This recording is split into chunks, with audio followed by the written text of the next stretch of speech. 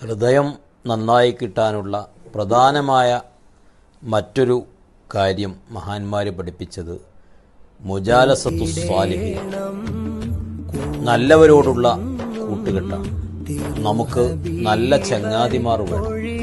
ചങ്ങാതിമാർ ഇല്ലാത്ത ജീവിതം ആത്മീയമായി പരാജയമാണ്. അതുകൊണ്ട് ചങ്ങാത്തം വർദ്ധിപ്പിക്കണം ചങ്ങാതിമാർ സാലിഹ്യങ്ങളായി